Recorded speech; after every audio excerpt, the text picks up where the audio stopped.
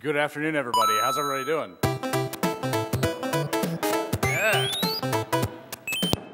It's awesome.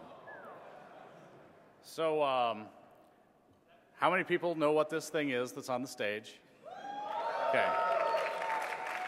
I only asked that because wandering through the halls yesterday after getting the badges, I heard a bunch of 20 somethings talking about what the Konami code was, and they were listing it off wrong.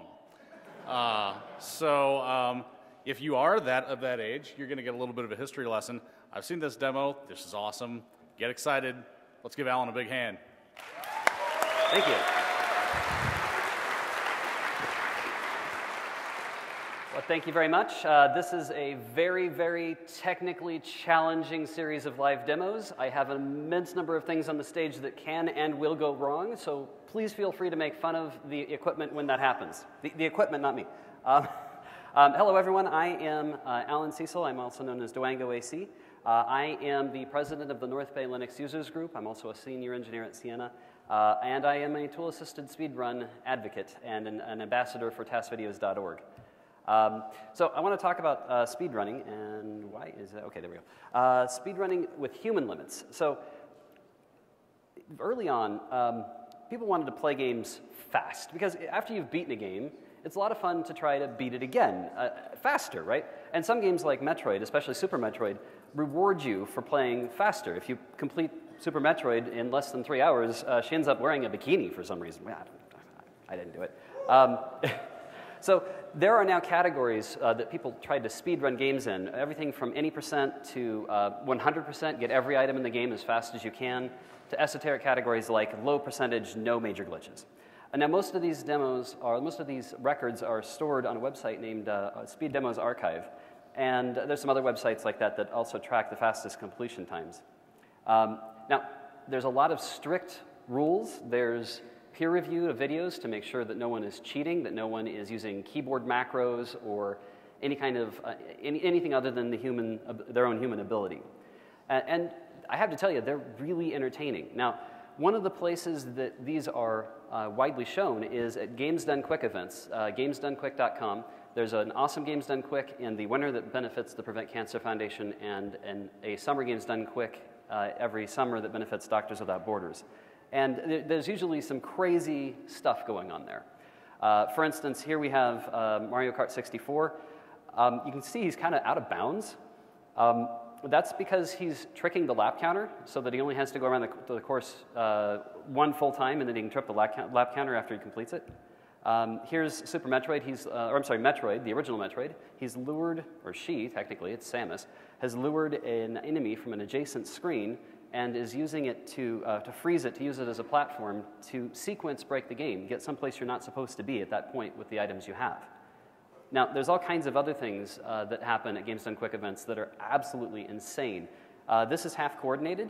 Uh, he cannot use, for the most part, he can't use the right side of his body, so he completes games using only one hand on the controller. And it's insane watching him play. There's also been some crazy things like uh, this guy completing all the way up to Mike Tyson uh, in Mike Tyson's Punch Out, blindfolded, just listening to the game audio. Just insane. So, this is clearly beyond the standard limits of what most humans can do. But tool assisted speedruns or tool assisted superplays go a step further. We're not really interested in human limits anymore. Now we're interested in what can this piece of hardware really do if you pushed it to the limits of what the hardware is capable of. And TAS is used as a noun, a verb. I TAS this. This person's a great tasser. You'll hear me say the word TAS throughout the whole talk. Now, the history of tool assisted speedruns is kind of interesting. Uh, back in uh, the 90s, the game Doom came out, and it had a quick save button and a quick load button because, let's face it, it was kind of a hard game and you were likely to die a lot.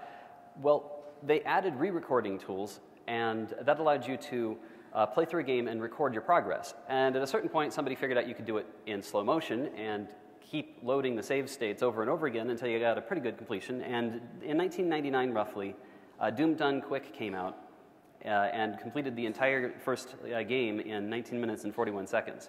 Uh, this was followed up by a couple of other ones. Uh, there's a 14 minute and 2 second completion of Doom 2, for instance. So it's, it's, it's definitely been one of the, uh, the first widely known tool assisted speedruns. Now, in 2003, a video surfaced online from somebody named Morimoto.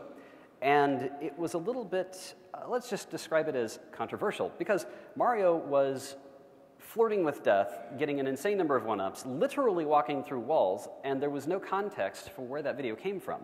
Now, it had been posted on a Japanese website with appropriate annotations to describe that it was done with an emulator in slow motion with save states. But uh, it was the context of the video was missing when the WMV file in 2003, pre YouTube days, got circulated around the internet. Um, and the problem was that it was inhuman skill in display. And, and, and, really, tools meant hardware limits became the only limits. But if you don't say that you're testing the hardware limits, people get really upset. So, TASing, it's kind of like the doped Olympics. I mean, let's just be honest here competitors should admit to doping. Let's just be honest here. Um, and videos made with TAS tools should be labeled. And there was a guy named Bisqwit that in 2004 created NES videos to track tool-assisted speedruns the same way Speed Demos Archive was tracking in-game human completion times. Now, uh, that's now gone beyond just the Nintendo Entertainment System, this console here. It's now moved on to many, many consoles. Uh, and there's now uh, everything from modern consoles like the Nintendo Wii through handhelds at tasvideos.org. So I know, live demo, like we're only a few minutes into the talk, but let's do a live demo. I'll talk about the console verification part in a little bit, but just know that we made a game in an emulator, we set up a sequence of button presses, and I'm going to show you what those button presses are using TASBot. So this is where the video might go completely haywire, and I don't know what's going to happen. If you see somebody running from the side of the room, yeah, just bear with it.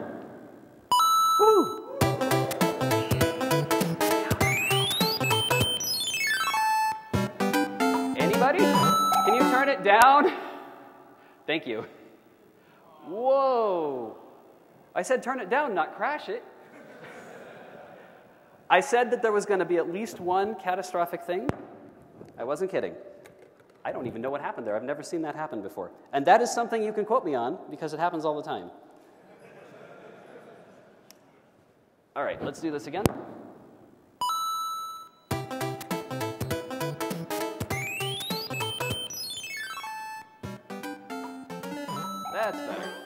It's still pretty loud, but, uh, whoa. Uh, what?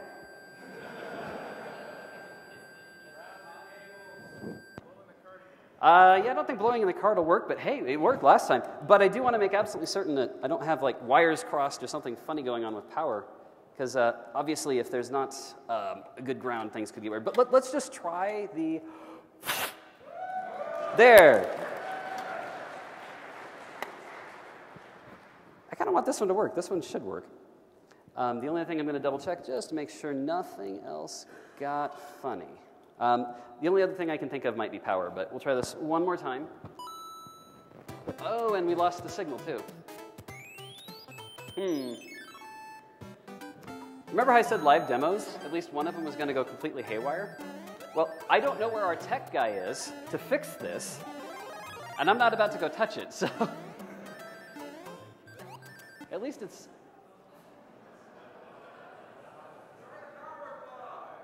Yeah, I'm a little bit concerned here.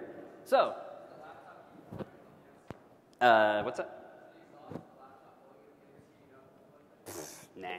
Besides, this thing's durable. Well, welcome to the first live demo that goes wrong. Um, that's okay. I'm going to do the rest of the demos entirely on the Super Nintendo, but of course, uh, we will have to um, get somebody in the room to, to fix the, the scrolling. But um, I'm very confused by that behavior. I've never seen it before. Welcome to doing something in front of the live audience, but that's okay. We'll just move on. This is going to cause a brief audio pop. I apologize in advance.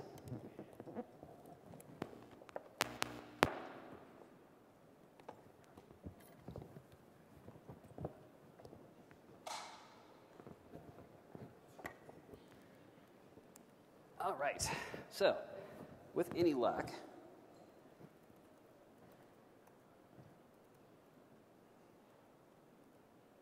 so, okay, so we probably are going to have rolling video at first. Or apparently no video. Okay, we can barely see it. Um, so I'm going to uh, keep going through some slides here. Um, this was made with uh, one of a number of emulators. There's several emulators out there. FCEUX, there's uh, LSNES, which this run was made with. Uh, this is the Super Mario World game for the Super Nintendo. Um, it is, uh, it is a, uh, a, very good emulator with a lot of useful tools on it. Um, and I know that it's going to be impossible to see with the scrolling, but uh, Mario is doing some really unusual things right now. Uh, yes, he just got about four Yoshis.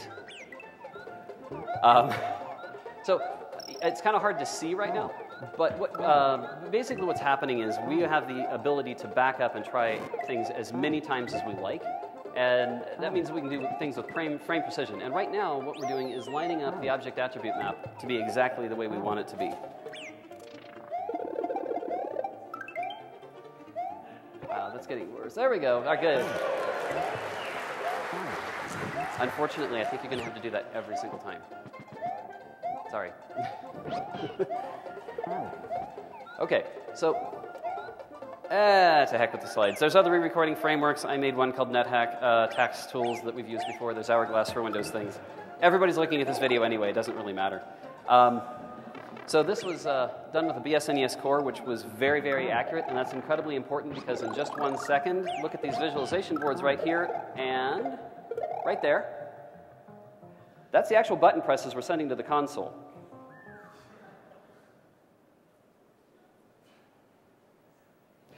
There we go.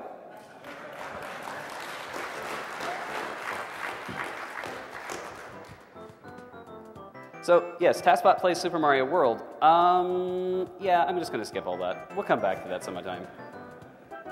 So, TASBot plays Super Mario. What? Oh, oh, I'm sorry. It's Super Mario Brothers in Super Mario. I get it. Um, I said this was a live demo. If somebody wants to come up here, you can definitely play this if you wanted to. Uh, except I forgot to bring the controller. Sorry, that won't work so well. Um, this is fully playable. So we took Super Mario Brothers, a game from the original Nintendo, and placed it on the Super Nintendo, which was never designed to have it. So we, we took a, a previous console run from here game and, and programmed it through the, the, controller ports on completely unmodified hardware. Now, this was done by uh, MasterJun, who set up the, the button presses, and by somebody named P4 Plus 2. And it's a really complex series of events, but there's a really good YouTube video by Dots Are Cool. Um, uh, that volume's kind of loud, but that's okay. Just ignore it. Uh, so what you're basically seeing is uh, he was going back and forth and rearranging objects in the object attribute map to basically write opcodes in RAM in such a way that when we did certain things, uh, it, it, it, treated the location and memory that, that the controller is stored in as something it should execute, and it did exactly that. It ran what we put on the controller and allowed us to, well, you can either trigger, trigger the credits or you can take it one step further and do crazy stuff. Um, but that's not, not good enough. This one was, this ran at 184 kilobits per second which is nice. You know, it's, it's, it's cool. But we can do better, and we're going to. So I need, I'll need to uh, restart, which means that it's probably going to mess up the video. Uh, one of the interesting things about the, uh, about the original uh, consoles is that they are running at a resolution best described as 240p. They played trickery with CRT TVs. So um, we, we have had a lot of trouble getting capture to work. It's actually been a bit of a pain. So I just erased the save game, and that's going to prepare me for uh, doing a, uh, another run. Let's see.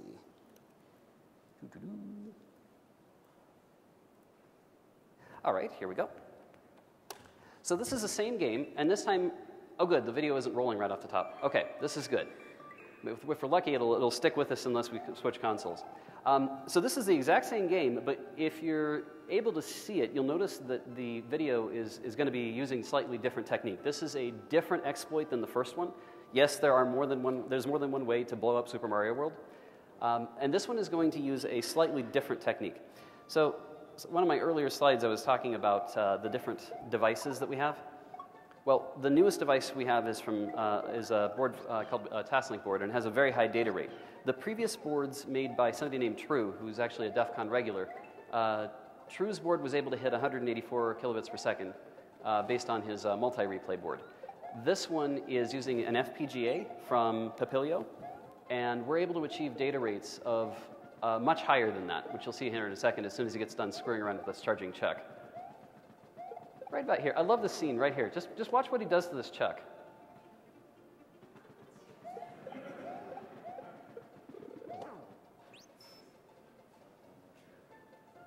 There we go.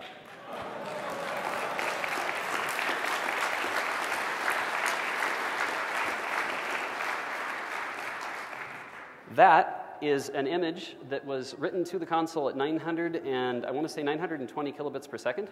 Um, keep in mind that the maximum rate that these consoles usually ran at was about three, I'm sorry, about 480 bytes per second, and that was like the most. so for us to shove that much data through it is, is kind of impressive. I'm, I'm, amazed that this console manages to hold up. Um, I need to actually back up a little bit and uh, cover a few things that I skipped over. So I'll just go to here. Uh, there were a bunch of early console devices. Uh, True was the first person to attach a, a console and, uh, and get, get it to, to do button presses. And it's actually a very simple protocol, especially for the original Nintendo. And one of the things I was going to talk about during the original video I planned, there's only five wires. There's just five volts and ground. There's a latch wire that says, latch, hey controller, I'm about to ask you what buttons you're pressing. Clock, give me the first button. Is A being pressed? Uh, one or high voltage if yes, none or zero for no.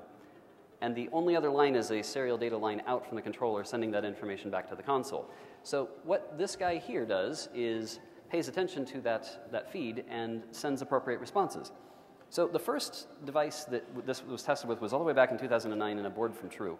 But in 2011, uh, someone named Micro 500, who built also this, this uh, TASLink board, Micro 500 made a device called the NES bot that, based on a breadboard you can see here in the lower, lower corner uh, that was able to complete Super Mario Brothers 1. And it was used at one of the very early Summer Games Done Quick events to complete uh, Wizards and Warriors 3 and Super Mario Brothers 2, although somewhat comically. Um, and by the way, uh, that, what you see on the screen, if, if, I know it's really tiny, but there, there's just a very few number of people in the audience. This was one of the early Summer Games Done Quick events that didn't have very many people. Now this room would be looking a little bit more like DEF CON here. But um, there were a couple of other boards. Uh, there was a Droid 64 bot that could do N64 games, and uh, Micro 500 made one of his own in 2012 using a uh, propeller board. Um, but a TASBot, this, this guy here, a Rob holding a random device with Legos on it, um, that kind of happened a little bit later. So in 2013, we uh, had an opportunity to, to again go to uh, Summer Games or Awesome Games Done Quick and present and True built a device from scratch based on a microchip uh, device. And it was, it was a very, very good device uh, in the sense that it was streaming capable, very inexpensive, um, a little bit fidgety with wiring because of the punch down, uh, the screw down blocks that we used. And it had somewhat limited data rates, but we were able to do some really impressive things on that. One of the first things we did was uh, uh, Snake and Pong on top of Super Mario World. Well, I took a, a, a I eventually, this was like the first prototype, I just zip tied them together. I took some, uh, some Legos eventually, shoved them together, and I called it Raspberry Pi because at that point it was being fed by a Raspberry Pi. Posted this run on Awesome Games Done Quick saying, hey, I want to want to go to the event. And immediately Mecha Richter says, hey, I want to see some of that TASBot action. Exploded. I never called this guy TASBot, it just happened. So TASBot is nothing more than a Rob robot from the 1980s that was shipped with the original Nintendo consoles so that it look, didn't look like an old Atari video game console with some Legos and a replay device, and that's pretty much it. Um, now, the multi-replay device uh, is one I mentioned earlier that was capable of putting Super Mario Brothers inside of Super Mario World. And there was also some other really interesting developments. There's a Game Boy Player player, and there's one I haven't mentioned here that's able to play DS games. Um, so we already went through all of this. I'm going to fast forward. But I really want to Oh, and by the way, the, the faster data rates also allowed us to play Super Mario Brothers 1, 2, 3, and Lost Levels at the same time with the exact same sequence of button presses, completing in about the same second. It was really quite impressive. Uh, very, very crazy. We just did that a few weeks ago at Summer Games Done Quick. Um, so I want to step back for a bit. Uh, I don't know how I'm doing on time. Okay, I'm doing all right. I'm actually doing just fine on time. I want to really step through and go in a deep dive into one of these exploits and really break it down so that you can kind of understand some of the sequences we go through. So I'm going to start with a game called Pokemon Red. Now, Pokemon Red is a really broken game. Um, you'll see how, how broken, like it's really broken. But a, a handheld Game Boy is kind of difficult to wire into. Now, we've done it, but it's not exactly a lot of fun. So, this is a Super Game Boy cartridge. This has an entire Game Boy processor, a Z80 processor, um, codenamed a DMG, inside of this cart, and it communicates with the Super Nintendo and allows us to. Um, oh, great! Right when I need to swap video, I don't know where he went. All right. Well, I hope it works. Um, so that allows it to use the controllers, which is great for us. means it means I don't have to touch anything. Now, I have a wire here, and this wire is is kind of an interesting little thing. There we go. Um, all right, that's already fully baked. This wire has a little expansion board connector. On the underside of the console, there is this not very often used expansion board. They eventually used it for an, a canceled project that uh, connected a CD drive to this thing, but it was never really implemented. Now, we're using it because it exposes a reset pin that we kind of want to play with. Uh, play with. Yeah, I'll go with play with. So, and hopefully my video signal stays. With any luck. Yay, all right, we're good. Um, and we don't really need a lot of audio for this one. It's, uh, there's not really, I like the, the game audio, but I've, I've, got to tell you, when I was testing this, I listened to it over and over and over again, and I got really tired of it. Um, so what's happening right now, we're going to delete the contents that was there previously. And um, there we go. Uh, and we're going to start a new game, and we're going to set very specific parameters. So uh, unfortunately, this, it's kind of slow menuing. It takes a while to get there, so I'll kind of explain in advance. Uh, we're going to name the player's character Red, and we're going to name the rival a very unusual name. We're going to name him RXRXPK. There's actually a PK symbol. And the reason we do this is we need to pre-set up certain memory values to be in our advantage that we'll be using again later.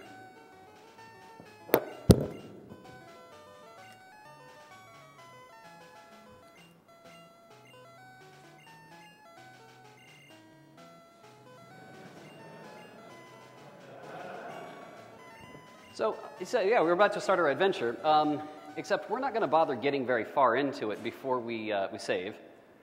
So we're going to save and bam. So what we just did is we reset while we were saving the game. Now I don't need this wire anymore, so I'm going to pull it out. Um, that allowed us to write a completely valid game header that said, yes, uh, you, you, your player's name is this, your rival is this, you have, uh, you have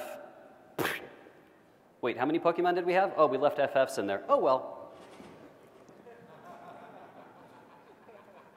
So you can kind of see where we're going here. All right. So now we're going to start and load the save game we just used. So again, this is kind of slow. It'll take a little while to get here. I'm going to get, it, I'm going to get ahead of myself because this section goes rather quickly. Um, there's just a lot to explain. So what we're going to do is load the save game we just created, and it is a valid save game, but the list of how many Pokemon we have says we have 255 long. And that allows us to go beyond the area of memory we would normally be able to go to. And right here, you'll see us, we swapped Pokemon over the area of memory that contains our items. Now, that means that uh, we have to do a couple of the switches so that we don't crash the game, by the way, but I'll get to that in a second. Uh, that, that means that we can now delve into our item list uh, and uh, you, you, can see here there are some items that are stored as a two byte pair. One byte to say what the item's name is, and one byte to say what the quantity of it is. So we just tossed, uh, well, now we're swatching, switching where items are to move them in memory, but uh, we just tossed some of an item. We're going to do it here. So TM25, we're going to toss 24 of those. Well, whatever value we started with in memory, we've just thrown out a bunch of, of items, and we've reduced that memory by 24 in, in, uh, in RAM. So this allows us to directly manipulate memory, but we can only manipulate every other byte. Fortunately, if we go back and swap Pokemon, like we're doing right here, it offsets memory by an odd number. So what used to be an identifier is now a value, that, or a quantity value that we can then throw away. So now we can write everything in memory, but we have to be very careful because some items, if you throw them away, every item of that category you can never touch again. Some items, if you throw them away, will crash the game. And some items will crash the game simply if you look at them. Not so helpful. So uh, there's also another thing that we're doing here. We're, we're, we're obviously writing bytes in memory in, an order, to, in, in, a, uh, in order to create a uh, routine that will allow us to read from what's on the controller and store it in memory. The problem is the Super Game Boy cancels up and down and left and right. So if you try to press both, uh, but both those buttons at the same time, they just get zeroed out. So to get around that, the routine we're writing right now, we're literally writing a program, as you see. Um, it reads, uh, stores it in memory, reads again, stores it in memory, does a subtract between the two, stores the result in RAM in one, one position, and then keeps writing in it, uh, one after another. Um, and when it gets to the end, it writes over a jump sequence to go execute what it just wrote. And what it's writing right now, which you'll be able to see on these visualization boards, is a rather substantial payload. And it takes quite a while to write it all.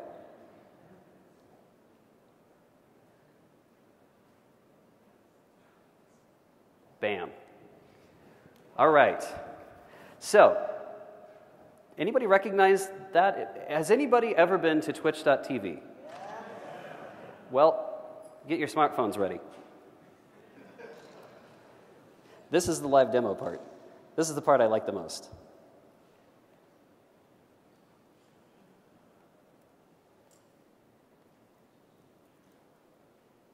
Oh, you know, it really, really helps. So uh, it really helps if you actually have an internet connection when you try this. So we have to take a quick pause and hope that this cable reaches without causing anybody too much pain.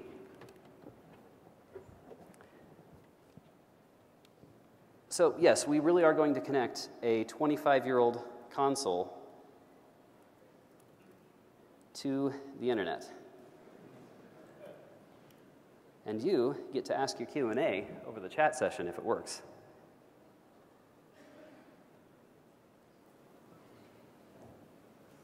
Nice. We've already got some action here. All right, somebody type something and it will appear on the screen, I assure you. So, uh, what you need to do is, uh, let me uh, quickly get here. I will actually type out the address. Uh, oh, you can't type URLs and there's a swear filter on here. Have fun defeating that. It can be hacked. This code is all on PPTIRC on Git. You can find the swear filter in there and defeat it to your heart's content. This is DEF CON. Have fun. Knock yourselves out. Um, so, here's what we're going to do. Um, I'm going to talk about a couple other things.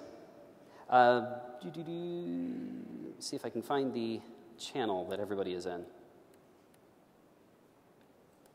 I know I've got it in here somewhere. There it is. Oh, wait a minute, I know what's happening. We're playing back a screenplay because I never moved the file over. so, what you're actually seeing on screen, because I couldn't see it on, on uh, down here, you're seeing the exact text that we, we put on screen at uh, Awesome Games Done Quick 2015. Uh, it, was a, it was an entire screenplay of, uh, of conversation. I'm just going to let it run because it's actually kind of stupid, uh, poorly written, and, and then hilarious. I had my own script of things I was supposed to say, and I never did because it was just too awkward.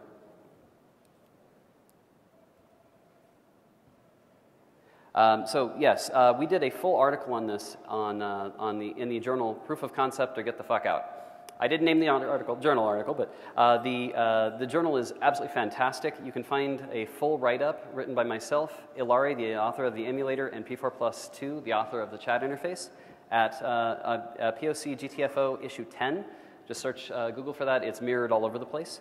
Um, it, it is, there's a lot more details than what I covered here. By the time we get done doing all of this, um, we escape the Super Game Boy. We uh, tell the uh, the Super Game Boy that we want to execute something in the Super Nintendo's memory space, and it lets us do it because there's actually a, there's a command that lets you do that. There were only, there's only one or two games that ever actually took advantage of that feature, but it's there. Once we get to the Super Nintendo, we're no longer limited to one byte per frame. Uh, in fact, we were at one point only able to do a nibble a frame because we had to subtract them together to get around the button limitations. Um, so what we ended up doing is after we get to the, the Super Nintendo, uh, we get to a data rate of, of two bytes per controller, and we tell it, oh, you, you actually have a multi-tap attached. So you have two controllers on the first controller port and two on the second, so you get 8 bytes per frame and 60 frames per second. So that gets us about 480 bytes a second if I did my math right. Uh, but that still wasn't enough, so we told it, oh, and don't just read eight, uh, once per frame, read 8 times per frame, 60 times a second. So that gets us to a data rate of 3.8K per second or so. Um,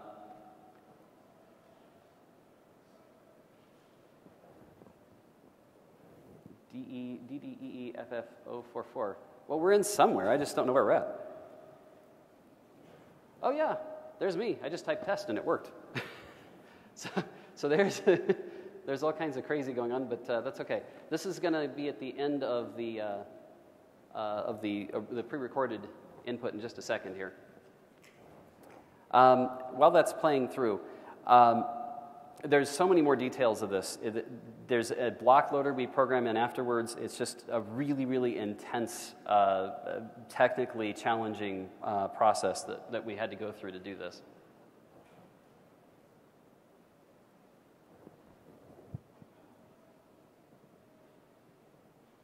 Did Franker Z come through?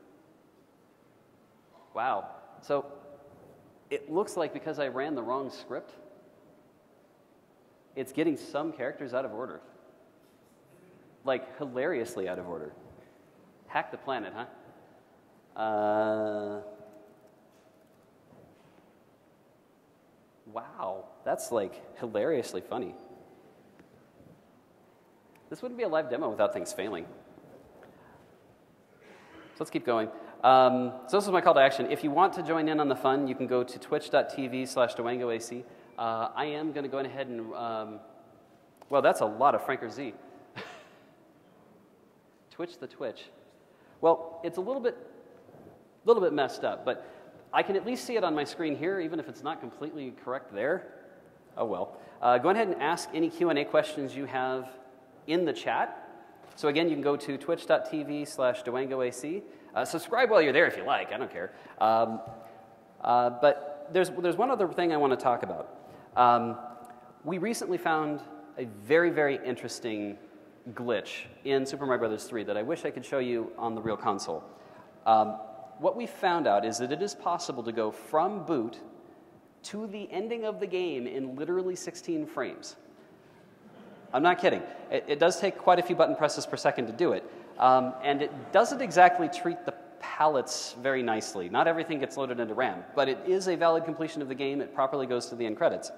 Um, so this happens because of an interesting choice they made.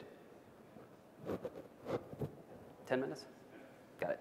Um, so uh, when they released this Nintendo hardware, uh, the original NES in America, they had a problem. Uh, they released the hardware and then discovered that if a game used DPCM audio and the controller was asked for uh, what values it was holding at the same time, the, there was a collision on the bus and the controller input may or may not be dropped. So to get around it, they ask, for, they ask the controller for input. Two milliseconds later, they ask the controller for input again. And if it's different, they ask again. And if it's different from the previous, they ask again. And if it's different from the previous, they, you can kind of see where this is going, right? Um, infinitely. Um, this allowed us to keep giving the, the, uh, the console a different response for what buttons we were holding every other time that, we, uh, that it asked for input. And eventually it tied it up until the next frame's processing started uh, for the raster interrupt that, that displays a, a, status bar at the bottom of the screen.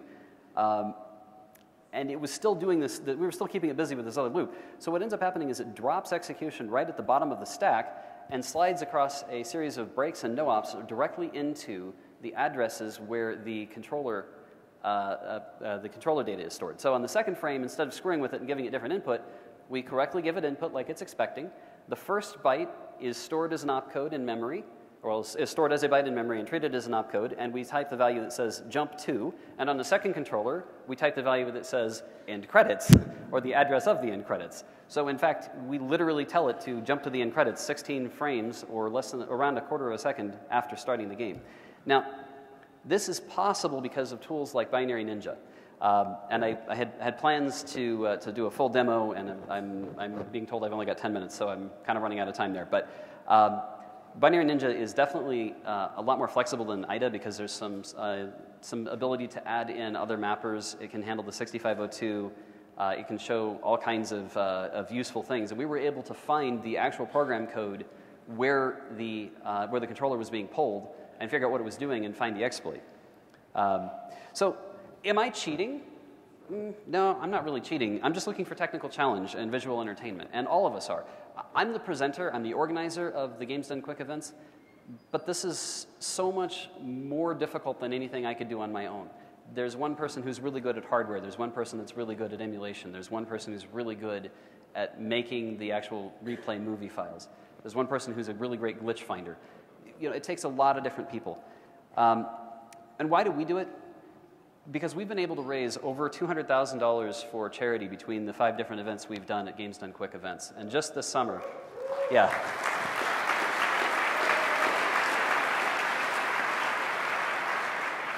Uh, th- that's really what motivates us. Uh, just this summer, we had an hour block of time at Summer Games Done Quick 2016, and in an hour, we raised $40,000 for Doctors Without Borders, and the marathon as a whole raised 1.3 million, and that's a huge success.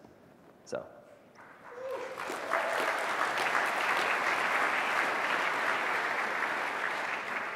Um, so I'd like to thank Micro 500. He made the, uh, the TASLink board here. Ilari made the LSNES emulator and also uh, heavily uh, contributed to the block uh, loader and a lot of other things that worked for Pokemon Plays Twitch, uh, which is what you're seeing here. This is Pokemon Red playing a Twitch chat. Um, uh, P4 Plus 2 wrote that actual Twitch chat. MasterJun is the one that figured out the exact sequence of orders of placing everything. True, of course, made the earlier devices. Total is the one that found the Super Mario Brothers 3 glitch. Uh, psifertex is behind, uh, uh, and Rusty are behind uh, Binary Ninja. AIS 523 uh, helped with uh, the, the, the, DPCM glitch info. Uh, Ange was hugely helpful in getting these slides put together and helped in the proof of concept article. Greenfly helped me set up today. There's a lot of other people at tasvideos.org that I don't even have remotely enough time to mention. Um, so now, let's see if there's actually any sanity in this chat and, and see if there's an actual question I can answer. It's Twitch. No, they, they oh, I am error. Gone Kappa. So if you do want to ask a question, I have exactly five minutes, I believe. Five minutes? Wow, somebody's got some potty mouth. Pretty good latency. Yep, I imagine. How many viewers do I have now? Anyway, I'm just looking. I'm looking at Twitch chat via IRC because that's how this bot works. Uh, let's see, are there any serious questions? Um, have you ever seen a zombie come to tea? No. That's a very interesting. Is this easy mode? Not exactly. Uh, what's your favorite sandwich? I have no idea. Probably chicken pesto. What the heck? Okay, when I said Q&A, I meant Q&A about like this. Drinks later. Yes, drinks later. Definitely. I'll be, I'll be standing over there. I'm going to need one after this talk. Um, Um, do I know, uh, know I am, what I am doing? No, sort of. Um, are they under the truck? Um, how does the bot work with timing? Okay, this is a very good question. This is the first serious question I've seen. So, on the original Nintendo, I mentioned that uh, it, it, actually asks for input more than once per frame uh, because it has to make sure that it's not running into this DPCM glitch on many games, not all, but many, any that use DPCM audio. So, that means that we have to put it in a windowed mode, and we have to ourselves keep track of which frame we're on. Uh, and in fact, that's the secret to all of these runs anyway, is a tool-assisted speed run, which is typically run on an emulator rather than the, on the original hardware, is nothing more and nothing less than a series of button presses showing every frame's worth of input, one frame after another.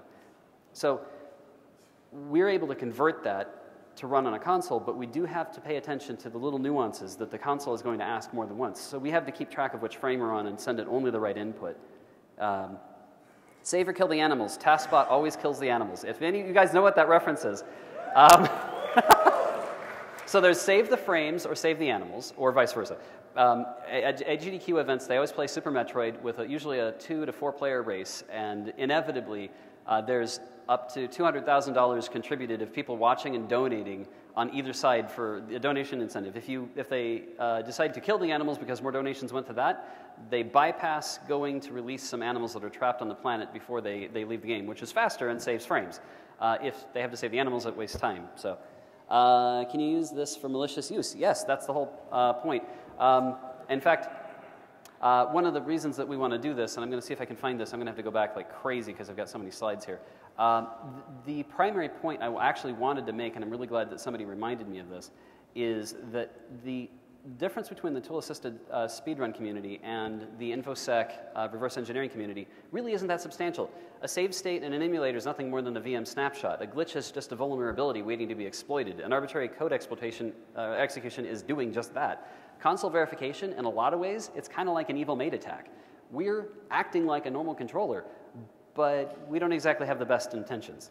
Um, so a tool-assisted speedrun, because the emulators have so many tools to be able to step forward, look deep into memory, look at all the aspects of the CPU registers, every last iota of what's going on, and the ability to try things over and over again, it is a fantastic place to start looking for glitches in games and start looking for uh, and refining techniques for reverse engineering. So I encourage you, go to tasvideos.org, check that out. Uh, I'm just going to hold this down until I get to the end. Um, if there's one last serious question, I might answer that, but I have a funny feeling there's not going to be much. Uh, where can I catch Mewtwo? I have no idea. Uh, more games soon, yes. We'll be doing another round at Awesome Games Done Quick 2017. More information at gamesdonequick.com. Uh, and I think I'm just going to wrap up with this last question. How do you mine for fish? What the heck? Um, do I play Pokemon Go? No, I don't, but I, I think it would be really funny if TASBot did. Uh, uh, let's see. Uh, has used TASUS to fuzz. Um, sort of, not really. Uh, we'll get back to you on that. Uh, can, I, can you do something useful? Yes, I can do lots of useful things. He can do all kinds of, he can beat games really fast when, when everything works technically. Um, what is my favorite TASBot exploit? Uh, I have to say it's got to be this one. I mean, I know it's kind of uh, other feature consoles. So, I mean, it's kind of. DEF CON is great now. Can we all agree on that? All right. Um, um, yeah, I, my, Pokemon Plays Twitch by far is my favorite. I actively was involved in making the movie for that and had a, had a deep part in the technical aspects of that, so definitely my favorite. Hey, I want to thank everybody for participating. I'll leave the chat up. You guys can continue to talk. Thank you very much.